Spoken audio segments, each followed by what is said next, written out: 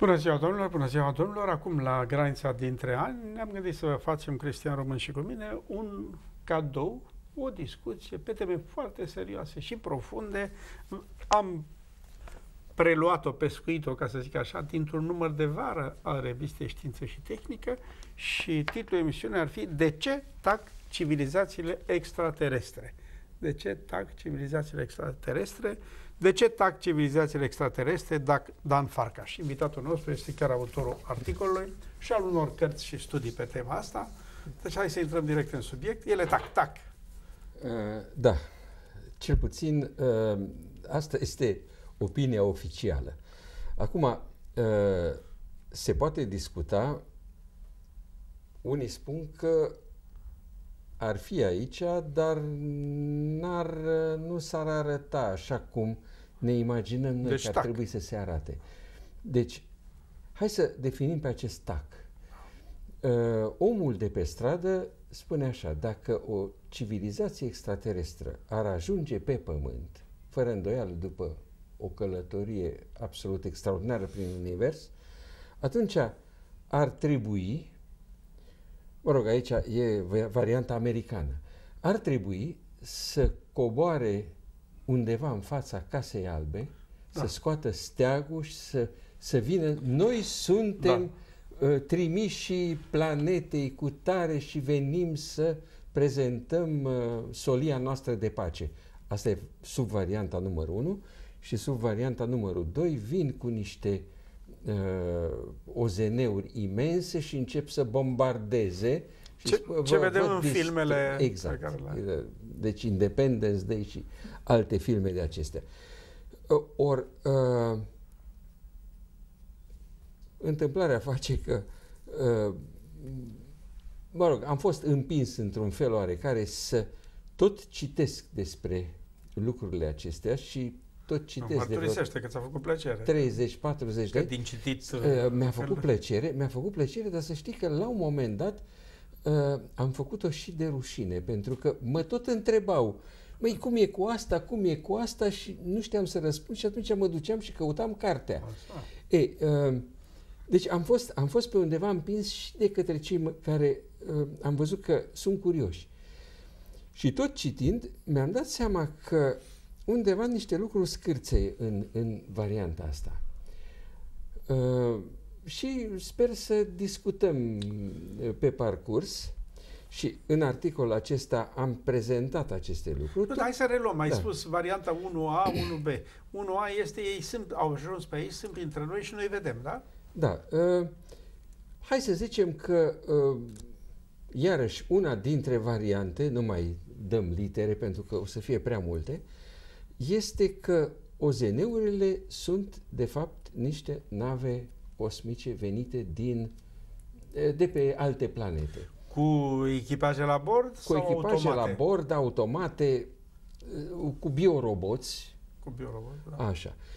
Uh, ei bine, fenomenul OZN are, pentru mine personal, două personalități absolut extraordinare care încă din anii 60 sunt, au fost pe baricade, mă rog, unul a decedat, uh, însă rămâne totuși uh, persoana care probabil a avut acces la cele mai multe, uh, și anume G. Ellen Hynek și Jacques Vallée. Amândoi astronomi, hai să spunem câteva cuvinte ca să, să fim mai bine înțeleși. G. Ellen Hynek, profesor de astronomie la uh, Columbus uh, State University din Ohio și ulterior la Evanston University. Deci, profesor, care i s-a dat să facă studiu. Profesor universitar care a fost ales de către Air Force din Statele Unite ca să fie consultant pe problema ar putea să fie extraterestri uh, în fenomenul ozene și a fost ales consultant în și fenomenul... pentru că era negativist a fost ales. Și pentru că era... Nu credea. Fiind astronom, era normal să fie negativist. Uh, și din 48, prin niște proiecte care le-a avut Air Force-ul, Sign, Grudge, uh, uh, Blue Book până în 69, el a fost angajatul, mă rog, calitate de consultant al Air Force și în subsidiar a mai lucrat un pic și cu CIA-ul și așa mai departe, a fost în niște grupe de acestea de consultanți, tot pe problema OZN-urilor, pentru că OZN-urile au preocupat și CIA-ul și FBI-ul și așa mai departe. Deci, problema OZN n-a fost o problemă, uh, hai mă, lasă-mă în parte cu prostiile. Deci, sunt, la ora actuală s-au desecretizat mii de documente și ne dăm seama că au, au fost preocupări. Bun, și atunci... Deci, și au avut nevoie de consultant. Pe Heinec l-au avut da. consultant. Bun. E, în anii 70, el uh, a fost puțin împotriva atitudinii oficiale, după care toate OZN-urile pot fi explicate prin fenomene banale, el a spus nu. Este un rest. Un 5%, 10%. Care e imens oricum. Care este imens oricum pentru că e vorba de sute de mii de rapoarte. Dar și un, unul singur, dacă Exact. Fi... Și, uh, și el a spus, e vorba de ceva mai serios și merită să ne ocupăm. Deci ăsta a fost Heineck, Heineck care, uh, între multe altele, el a introdus această clasificare cu întâlniri de gradul 1, 2, 3 și așa mai departe, care a devenit uh, bun a, comun. A pus ordine așa. În, bun. Despre Jacques Vallée. Jacques Vallée, astronom francez, însă un uh, tip extrem de pragmatic, așa că mm, n-a terminat bine facultatea și deja a fost mut, s-a mutat în Statele Unite, unde s-a angajat la NASA. El a fost unul dintre cei care au uh, făcut harta planetei Marte, când au fost primele sonde. Uh, de asemenea, doctorat în informatică și uh, unul dintre cei care au lucrat la ARPANET. ARPANET-ul, pentru cei care poate nu știu, a fost strămoșul internetului actual. Deci, da. în anii 60, el lucra la ceea ce la ora actuală a devenit internetul. Deci o persoană cu două, două pregătiri formidabile și uh, a, el a intrat în această problematică a OZN-urilor printr-o întâmplare.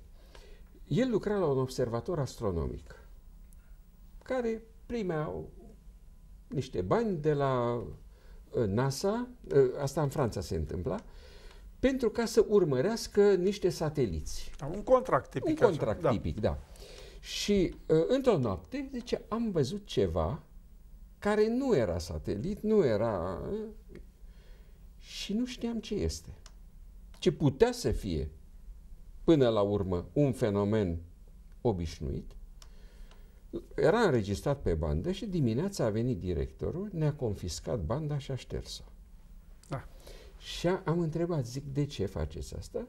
Ce pentru că dacă s-ar ști că noi avem această înregistrare, am pierde contractul, eu mi-aș pierde aș pierde contractul, dumneata și ți-ai pierde slujba. Și așa că e mai bine ca să fie ștersă.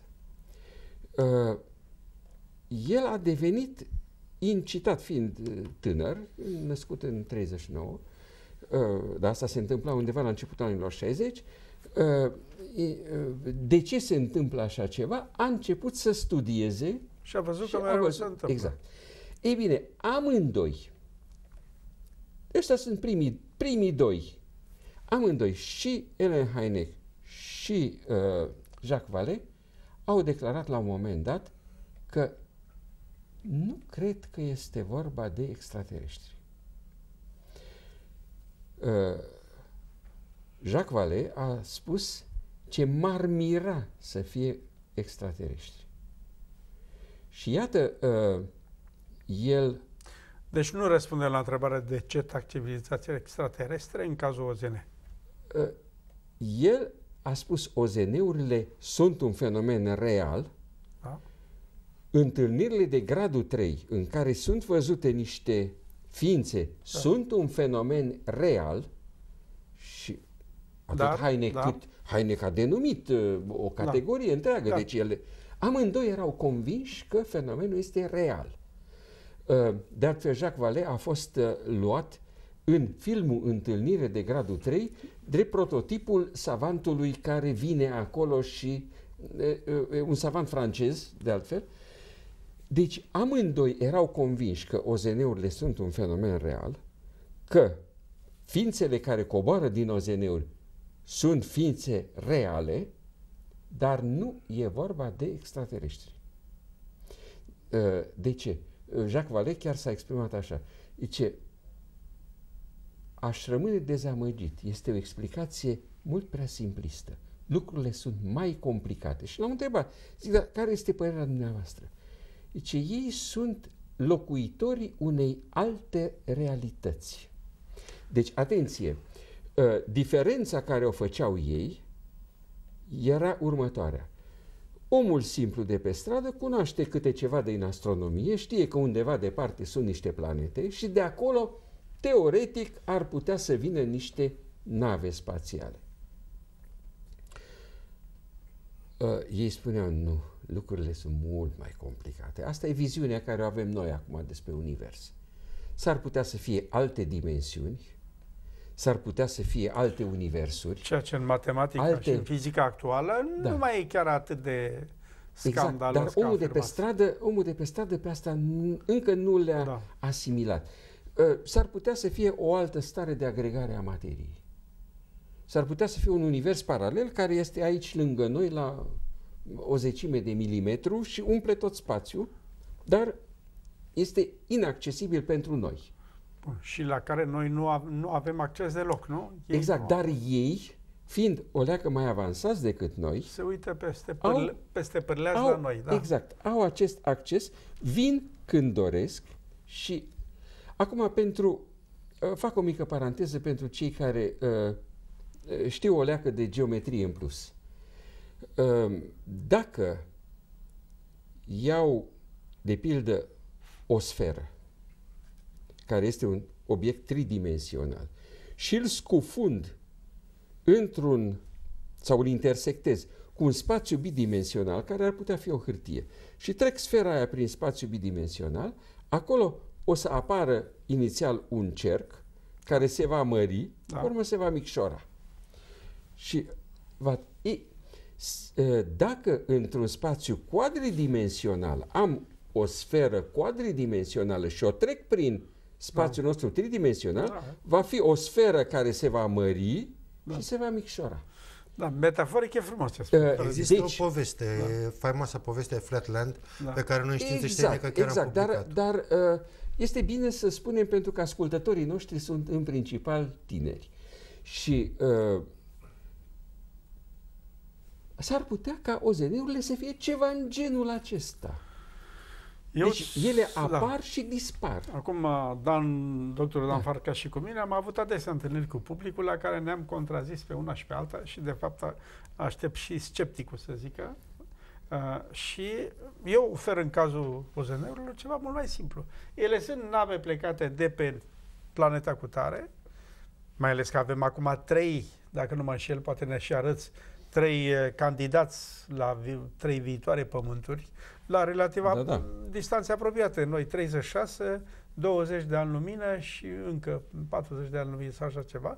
Deci dacă au plecat de acolo uh, obiecte, artefacte tehnice, nave, sonde de cercetare, au ajuns pe aici, văd, dar nu sunt programate să ne strângă mâna, că sunt în, în întregime, sunt tehnice obiecte. Uh, Și la fel am făcut și noi. Ce- Ce au plecat? Voyagerii au plecat, au ieșit din, din planul sistemului solar, peste 8 milioane de ani se vor întâlni cu o prima planetă. Uh, Da, așa este. Însă uh, lucrurile sunt ceva mai complicate în privința întâlnirilor de gradul 3, pentru că uh, mai există și întâlniri de gradul 4, 5, 6, 7. Unde apar persoane. Asta. Unde, deci, uh, dar mă rog, aici nu, nu, nu există un consens.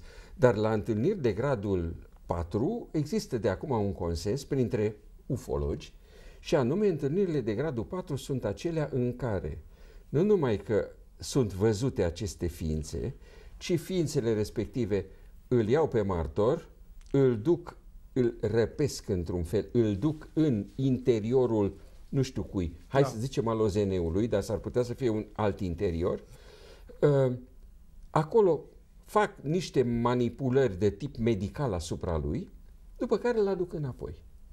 Uh,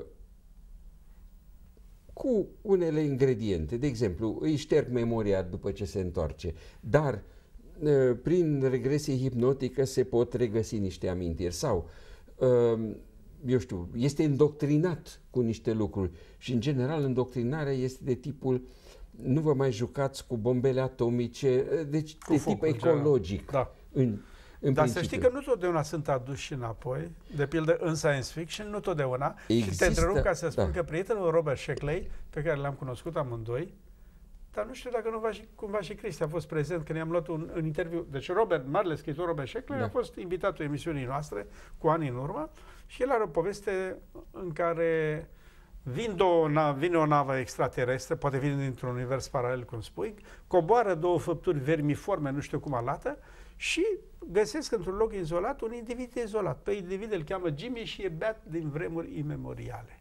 El vede pe da, da. făpturile da. viermiforme, dar cum Derilul Treme să-ți permite orice, zice, salut băieți, Ăștia îl iau, ei sunt civilizația aceea, este în căutare de sclavi pentru minele de nu știu unde, îl iau pe Jimmy, îl analizează pe loc, descoperă că îi curge, curge C2H5OH în mare prin sânge, mai mult whisky și pune, bă, colaborezi cu noi? Da, zice Jimmy, ce trebuie să fac? Alerg 100 de metri, Jimmy cade grămadă. Săr, Jimmy cade grămadă. E, concluzia este simplă. Nu avem ce face cu rasa asta, pentru da, că sunt da. rămași în urmă. Așa că îl iau cu ei pe navă, îl duc pe planeta lor, îl uh, vindecă de toate bolile, îl așează în, într-o cușcă zebrelită la grădina zoologică și dau whisky. Și îi dau singura, singurul da. aliment care se potrivește cu trupul lui. Da, da. Pe, pe cușcă stă scris în limbile galactice numele pe care și l-a dat singur Jimmy, Alcoholicus Anonymous. Da. Și iată cum au salvat ei planeta. Deci nu totdeauna Da, da, da. E, uh, merită ca să... poveste SF este drăguță. În general, poveștile SF însă au, după părerea mea, un păcat. Și o să, o să vedem imediat de ce uh, socotesc este, uh, că este un păcat. Și anume că uh, nici nu pot face altfel, imaginează niște întâlniri între civilizația noastră și una care este plus minus o mie de ani. Deci nu e mult mai... Dacă ne putem imagina cum o să fim noi peste o mie de ani, o să fim... Ce mai...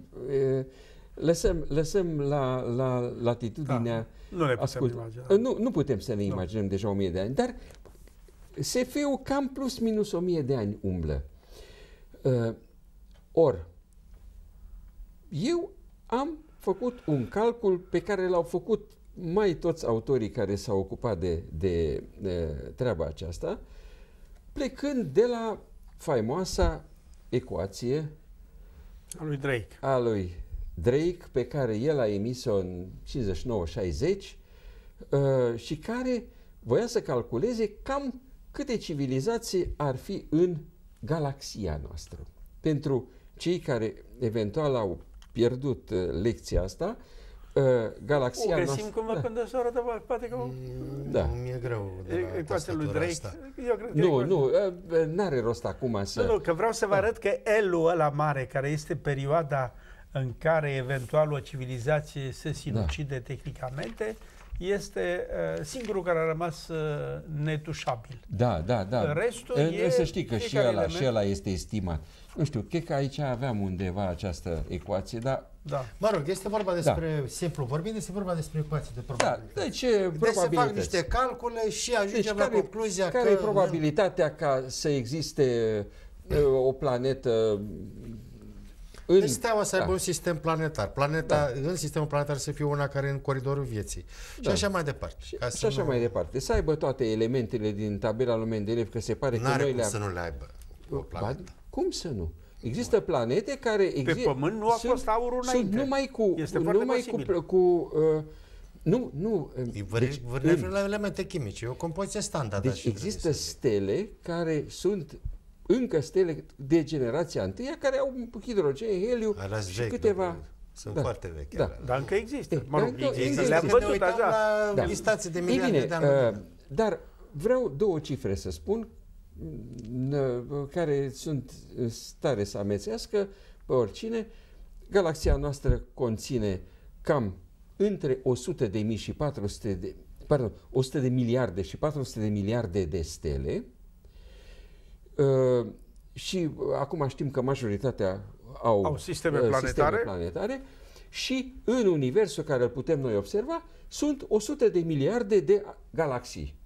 Deci înmulțiți uh, Nu mai una cu mult, cealaltă. obosim, da. Deci vă dați seama câte ocazii există pentru a se naște viața și bineînțeles că uh, oricât de, de puțin probabilă este, s-a născut și a dat naștere chiar și la civilizații, numai că uh, nu putem fi foarte optimiști, cel puțin mie din calcul mi-a ieșit că în galaxia noastră ar putea fi câteva sute. Numai că aceste câteva sute, și aici am mai discutat problema și nu, nu ne-am Adesea, înțeles, da? da? Uh, aceste câteva sute au apărut eșalonat, nu au apărut dintr-o dată. Și anume, uh, dacă Universul, acceptăm varianta cu Big Bang-ul și așa mai departe, are 13,7 miliarde de ani, uh, pesimist vorbind, aceste câteva sute de civilizații au apărut în ultimul miliard de ani. În preajma Soare, Deci în, preajma, dif- pardon, diferite. în galaxia noastră. Da. În galaxia noastră. În ultimul miliard de ani. Pentru că există, de exemplu, uh, niște stele nu foarte departe de noi, exact ca și Soarele, dar tot de generația a treia, tot cam de aceeași uh, dimensiune, dar cu un miliard de ani mai bătrâne decât Soarele. Deci putem să presupunem că există și planete de tipul Pământului de un miliard de ani mai bătrâne și înseamnă că acolo viața a atins acum un miliard de ani nivelul de acum și aici mai există o mare problemă, acel el de care vorbeai. Sigur, supraviețuirea. Supraviețuirea.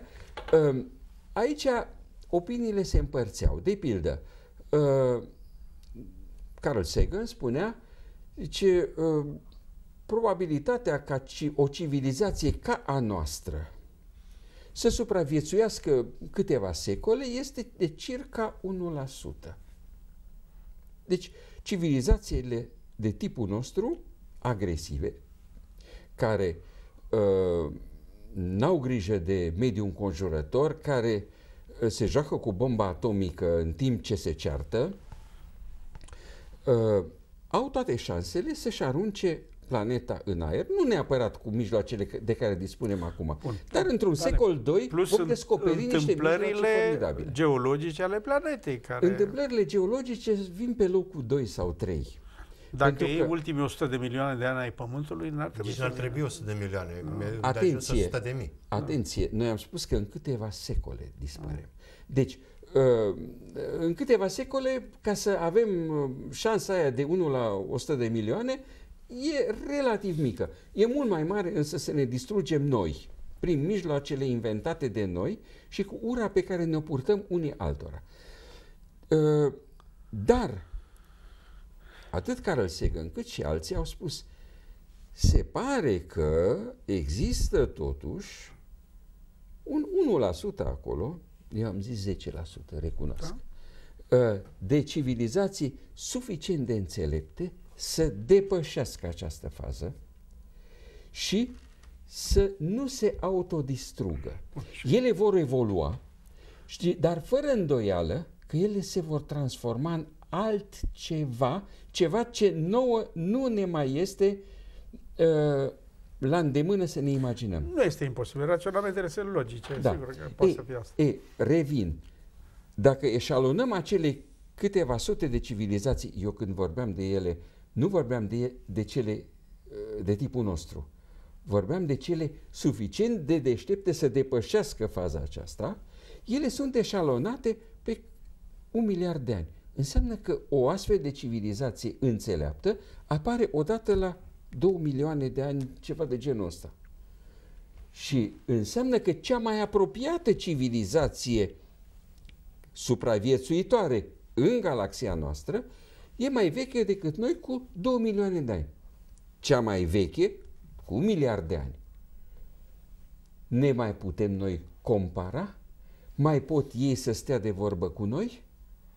Și ăsta, ăsta este răspunsul pe care îl am eu pentru da. de ce tac. Întâlnirile sunt imposibile, spui tu. Întâlnirile sunt imposibile nu pentru că ei n-ar putea să vină aici, ci pentru că n-au, n-avem ce discuta cu ei.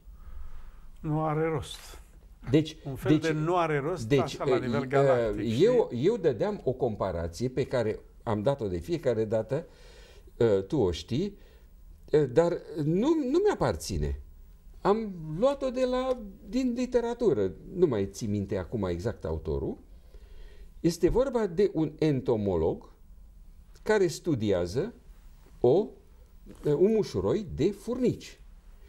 Distanța dintre civilizația care ne depășit cu un miliard de ani și noi e mai mare decât între noi și furnici.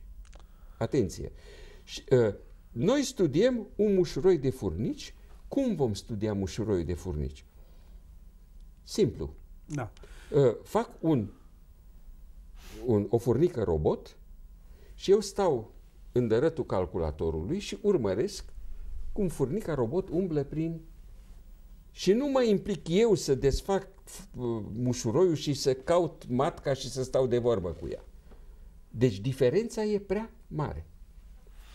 E un fel, sigur că eu am oferit uh, varianta în care materia evoluează cam în același fel peste tot.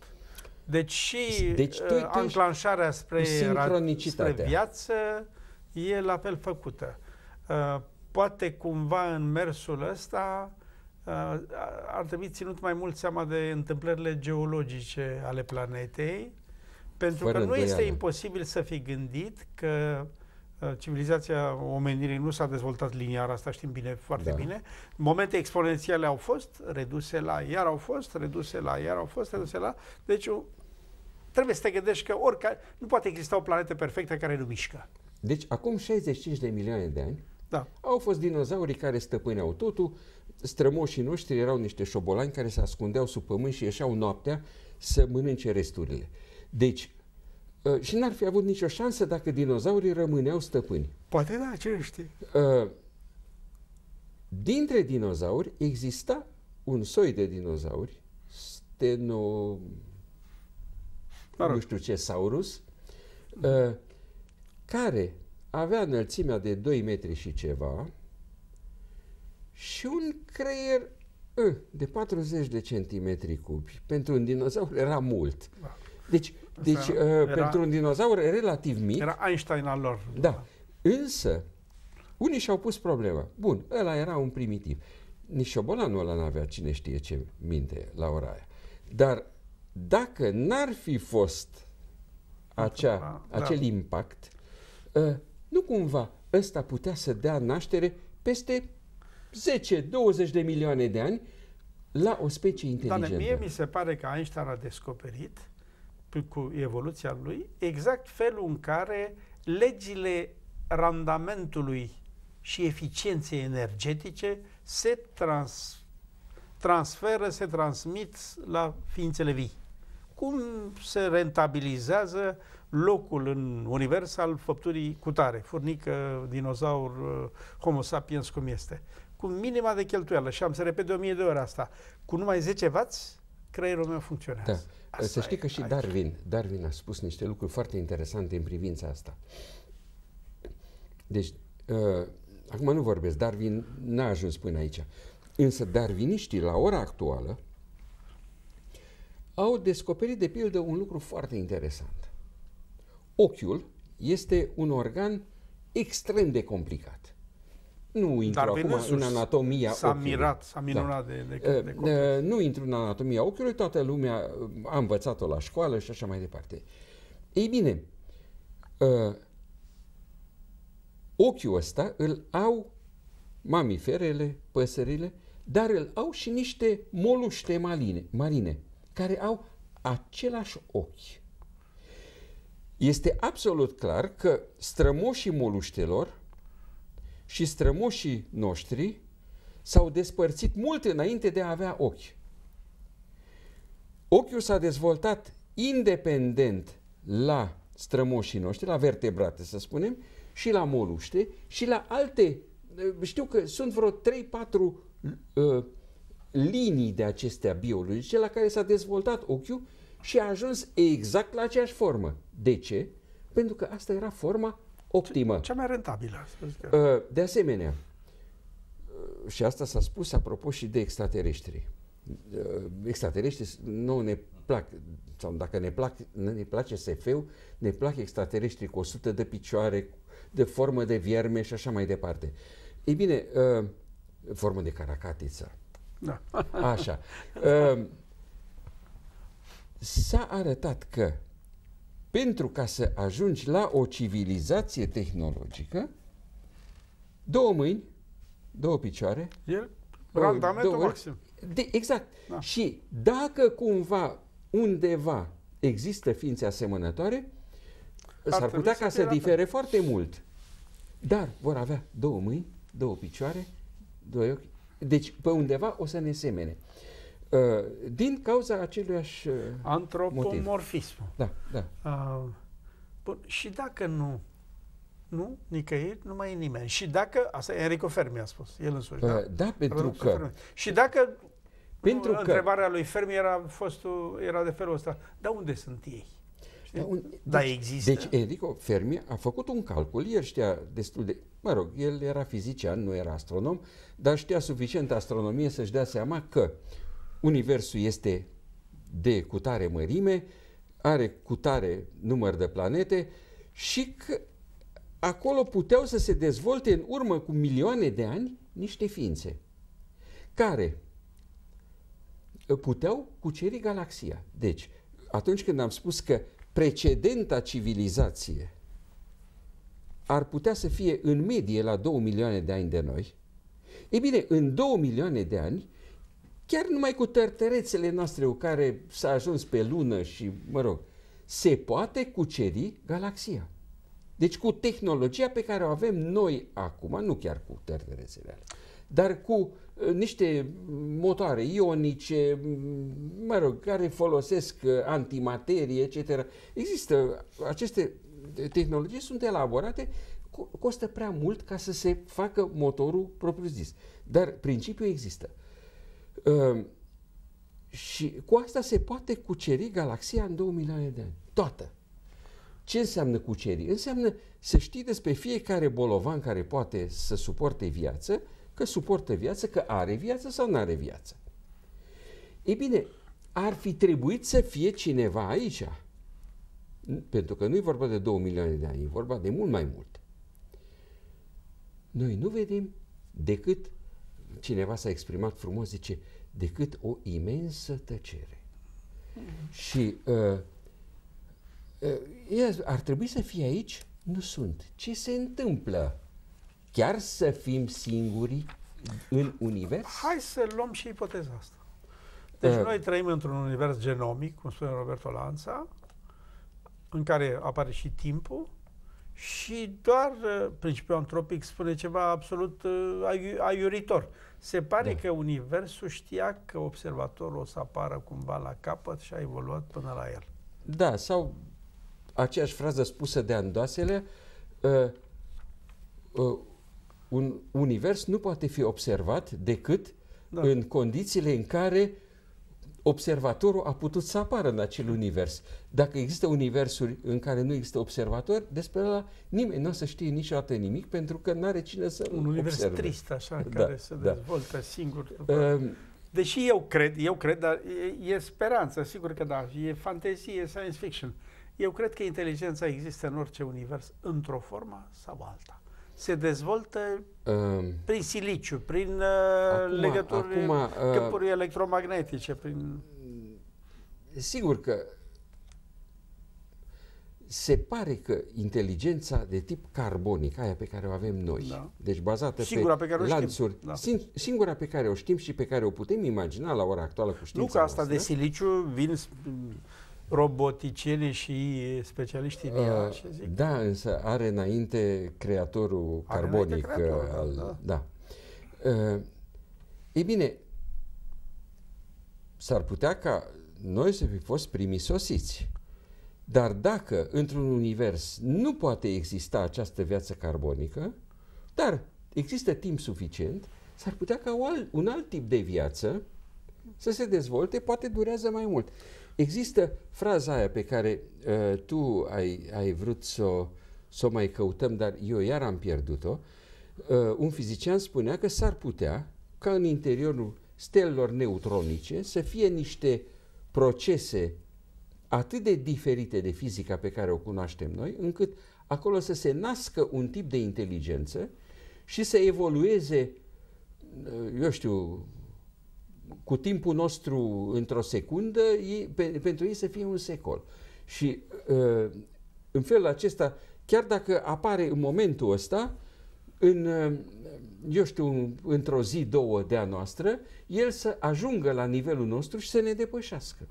Deci, uh, nu putem da. ști toate legile fizicii și toate consecințele pe care acestea le-ar putea avea pentru viitorul Universului. Însă, fără îndoială, dacă ar fi existat o astfel de uh, inteligență în această stea neutronică și capabilă să părăsească la un moment dat steaua neutronică în care s-a născut, asta se putea întâmpla și în urmă cu un miliard de ani și imaginați-vă unde a ajuns. Exact, cu asta ne întoarcem la prima ta afirmație. Dacă da. asta s-a întâmplat, atunci este chiar imposibil să ne întâlnim. Da. Și este nu numai imposibil să ne întâlnim, să ne Însă, percepem. Să să ne, exact. Dar s-ar putea întâmpla ca viața carbonică, revin la umila variantă pe care am spus-o, să fi ajuns pe o altă planetă, undeva departe, la nivelul la care suntem noi acum, acum un miliard de ani, să fi avut inteli- suficientă înțelepciune, nu inteligență, inteligență este. Hm. Uh, cineva Așa. spunea despre români, iertați uh, da. divagația. Deci nu de mari inteligențe duce lipsă țara asta, ci de mari caractere. Da, uh, da. Uh, uh, revin.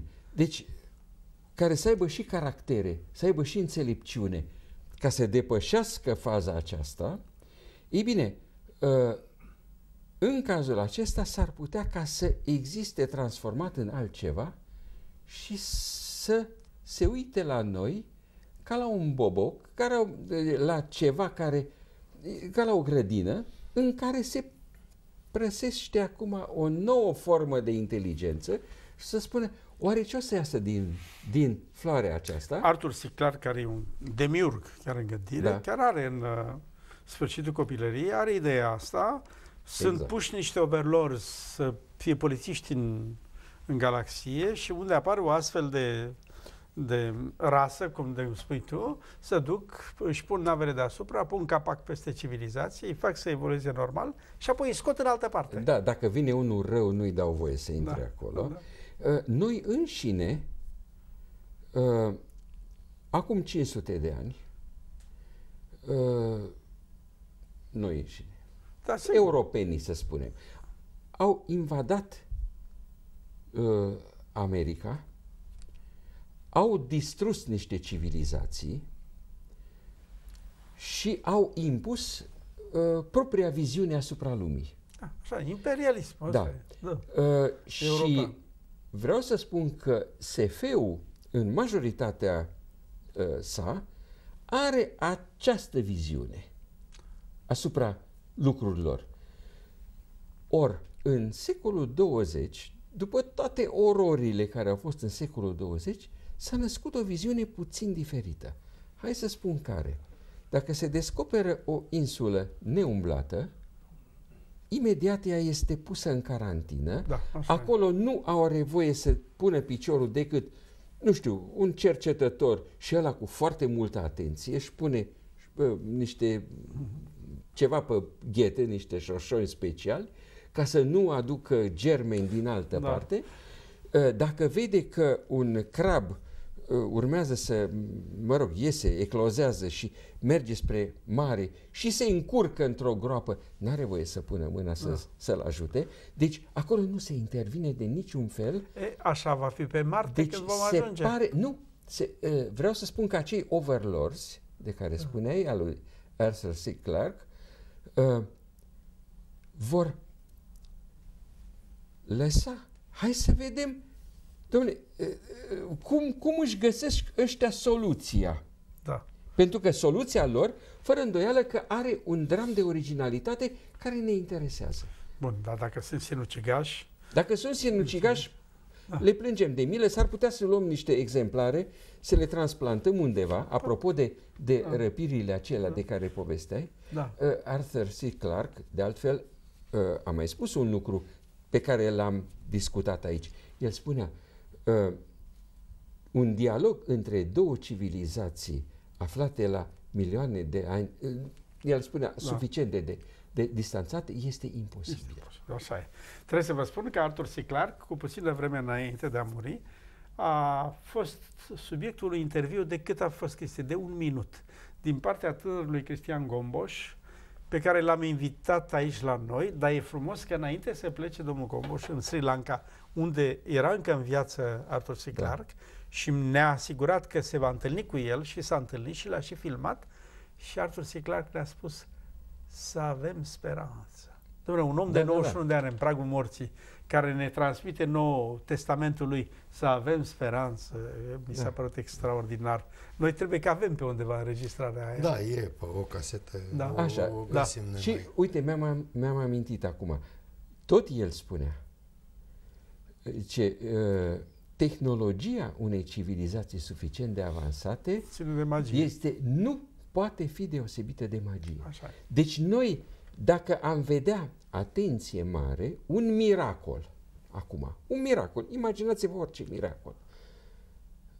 S-ar putea să fie adevărat și s-ar putea să fie manifestarea pe care noi refuzăm să o recunoaștem din partea acelei civilizații care în felul acesta nu tace. Deci, nu, e, e mai ușor să ne închipuim, să ne ducem noi din momentul nostru de istorie înapoi și uh, să facem... Uh, revin, revin la personajele cu care am început. Jacques Vallée, uh, încă în 69, a scris, și puțin timp după aceea, o carte în le, care... Le Matin de Magicien. Nu, nu, nu, nu asta. Le Matin de Magicien a apărut cam în același timp, dar nu e a lui. Uh, o carte în care spune, nu cum, nu, nu, nu spune asta, mult mai pragmatic, ia toate legendele cu zâne, cu, cu pitici, cu nu știu ce, din toată istoria omenirii, ia horibile dictu, toate religiile, aparițiile sfinte și arată cât sunt ele de asemănătoare cu aparițiile ozeneurilor. Și spune, și între ele, se pare că în cel mai rău caz au o cauză și niște mecanisme comune. Bun, dar este și un reflex spre înaintea specii umane și nevoia de fantezie pe care o are deci creierul el nostru. spune că s-ar putea ca toate manifestările religioase, etc., da. să fie manifestarea acelor civilizații extrem de vechi care s-au da. transformat Avem în un altceva. exemplu de civilizație? Nu, nu am un exemplu de civilizație. Vreau să subliniez faptul că în ceea ce vrește comunitatea științifică chiar se ocupă de acest subiect. Este un subiect uh, bine discutat, bineînțeles, cu mijloacele științei. Uh, știința se folosește de imaginație, știința se folosește de speculație, dar uh, în știință mai există un element important dovadă.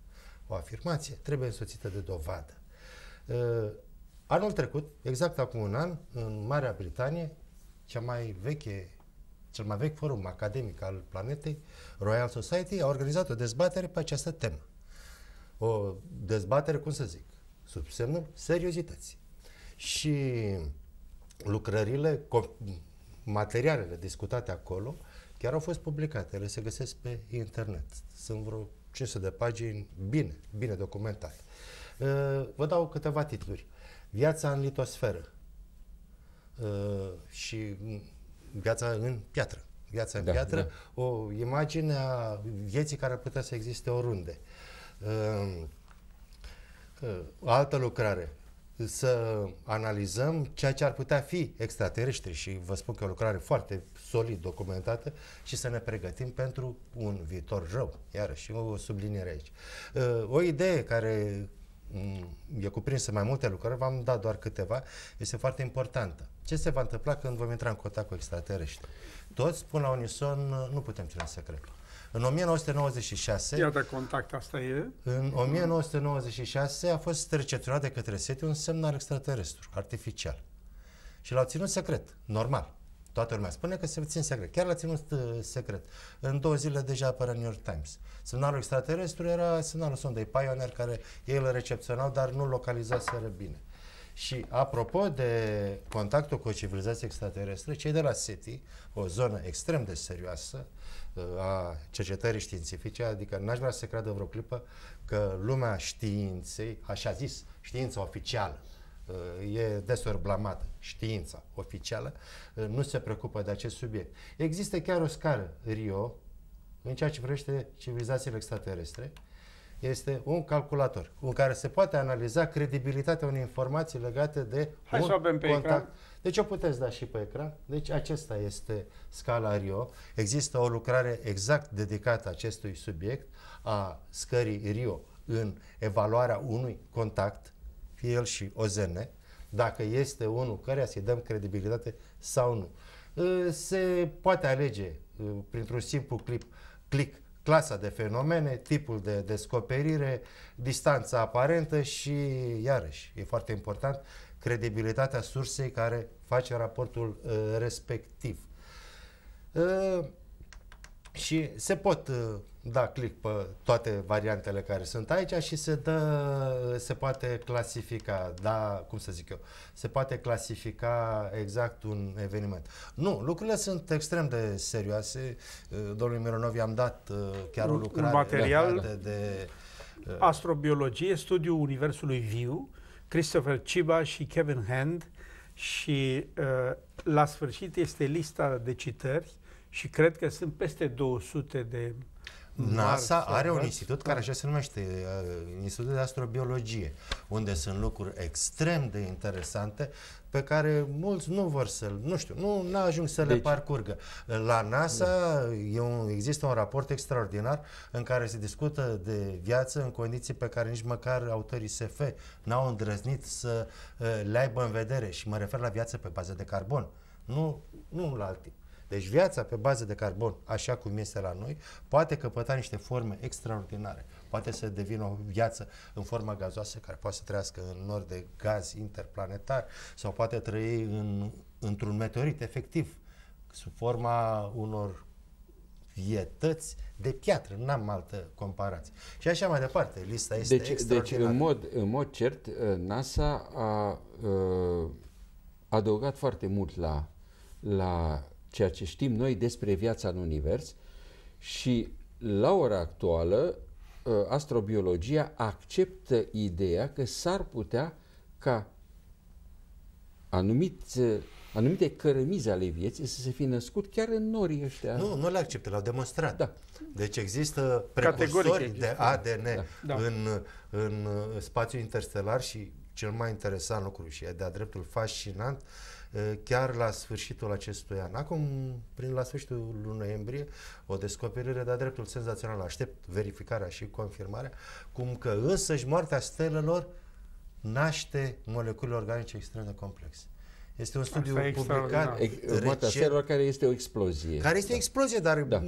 fenomenul este ca, care rămân fenomenul este cataclismic. Da, da, da. Adică e ca și cum nu numai atomii se nasc în stele, ci însăși moleculele care da, uh, da. duc la apariția vieții. Practic s-a constatat o îmbogățire a uh, concentrației de material organic în rămășițe la scurt timp după supernovă.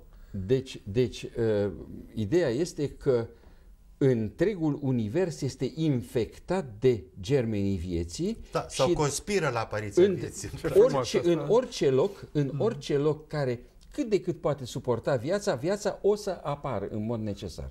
E, Acesta e și unul din principiile astrobiologiei. Ori de câte ori viața are posibilitatea să apară, apare. Aș, aș vrea însă să fac un mic comentariu apropo chiar de știință.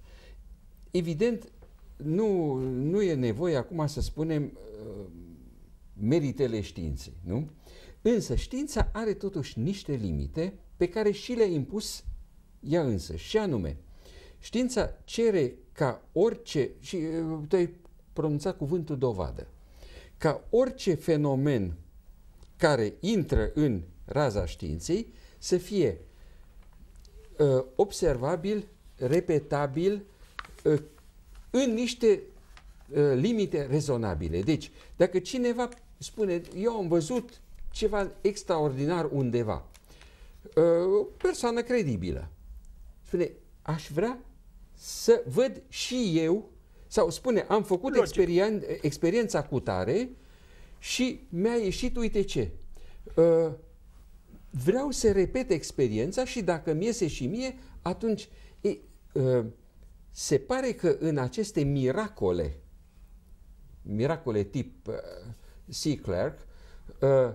nu aceste miracole nu pot fi totdeauna repetate. Și pentru că nu pot fi totdeauna repetate, ele nu pot fi aduse totdeauna ca dovadă. Să acceptăm că există o asemenea categorie și că vine un moment în evoluție în care ele sunt repetabile și atunci le, le pui în față. Fără Altfel, îndoială. Le fără tratezi ca miracole Da, și da, nu Depinde, ca miracole. depinde. Avem experimentul uh, cu neutrinii superluminici. Uite asta. Rezultatele sunt sigure 100%, dar experimentul, pentru că asta cere știința, Da. experimentul trebuie repetat în alte condiții. Poate este, există undeva o eroare.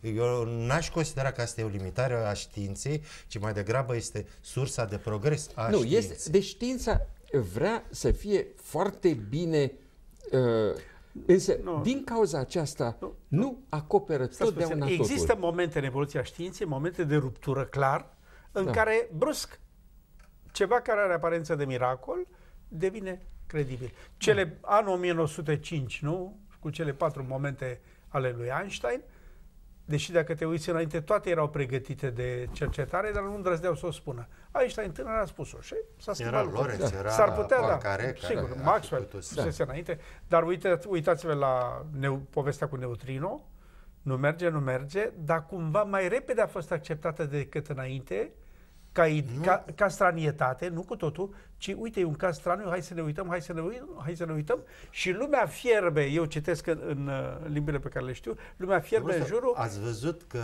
Sperăm gradul că se de întâmplă. încredere se calculează da, în așa e. experiment. Și gradul de încredere îndreamnă spre aproape sigur. da, Deci este sigur, nu, e considerat descoperire, are sigma 6. Ceea ce înseamnă aproape descoperire. sigur, totuși.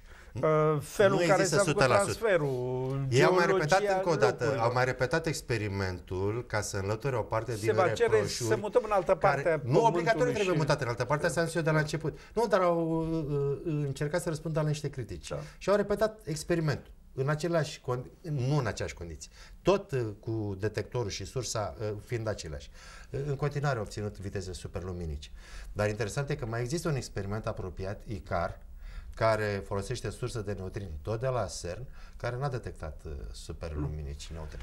Mă rog, rămâne de Ei văzut. bine, în discuția noastră cu doctorul Farcaș despre uh, tăcerea civilizațiilor extraterestre, acest experiment cu neutrino de, pe care l-a introdus uh, domnul Cristian Român poate să însemne o altă pagină. Pentru că hai să ne închipuim că a 10-a experiență reușește, dă tot așa, neutrino aleargă mai repede decât lumina, suntem în altă parte a fizicii, Deci experimentul lui Michelson cu, cu lumina a fost prin Michelson și Morgan. 1880 și, nu știu, Da. 1. Da, ceva de genul. 1980 și... Da, au fost mai sau cam multe, așa de ceva, fapt. da. Uh, ori, soluția a venit abia în 1905. da. Deci, Demonstrația câteodată, asta. câteodată uh, uh, și asta este încă o condiție pe care o pune știința, dacă nu cumva scientica, uh, și anume să fie fenomenul și măsurabil, ori miracolele nu totdeauna sunt măsurabile, pentru ca să pot să fac o formulă într-o Nu. teorie Nu, științifică. aici este vorba într-adevăr de fizică, chimie, mai Da. există și alte Și- discipline, cum ar fi psihologia, Uh, în care psihologia- asemenea, psihologia deja- în care da. asemenea dorințe de a le pune într-o formulă Chiar nu și există. biologia, să spunem, Și tot ce biologia, e mă viu, rog. e, Da. e mai altă. Însă- da. Deci Însă, sunt multe care uh, sunt în zona aceasta descriptivă. În momentul, n-are rost acum să, să intrăm în amănunte, Nici nu mai însă, putem că s-a terminat emisiunea. așa, Emisiunea e pe terminată. da, Cu alte ocazii îl invităm pe domnul Parca și vă mai arătă o dată coperta asta care mi s-a părut un deliciu. Coperta revistei de vară în care dosarul lui Dan de Farcaș, de ce tac civilizație, ex, da. civilizație extraterestre, Cu a un avut cap. cititori căci revista s-a vândut aproape integral și dumneavoastră cu siguranță ați asistat la o emisiune interesantă. O seară bună vă doresc.